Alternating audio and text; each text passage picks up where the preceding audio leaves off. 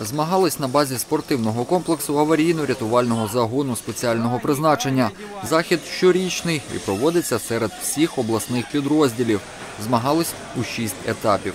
Оперативна перевірка засобів індивідуального захисту органів дихання та пошук постраждалого в димокамері.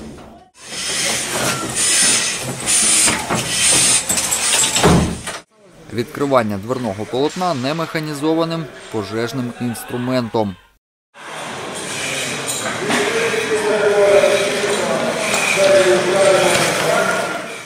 Встановлення брезентової перемички. Силовий тренажер. Проходження лабіринту та перенесення потерпілого. У змаганнях приймали участь 29 команд. Змагання складали з шести етапів. Е, Призові місця е, розподілилися наступним чином. Перше місце зайняла аварійна рятувальна частина аварійно-рятувального загону спеціального призначення головного управління. Друге місце зайняла 27, е, 27 ДПРЧ і третє місце співробітники першої ДПРЧ.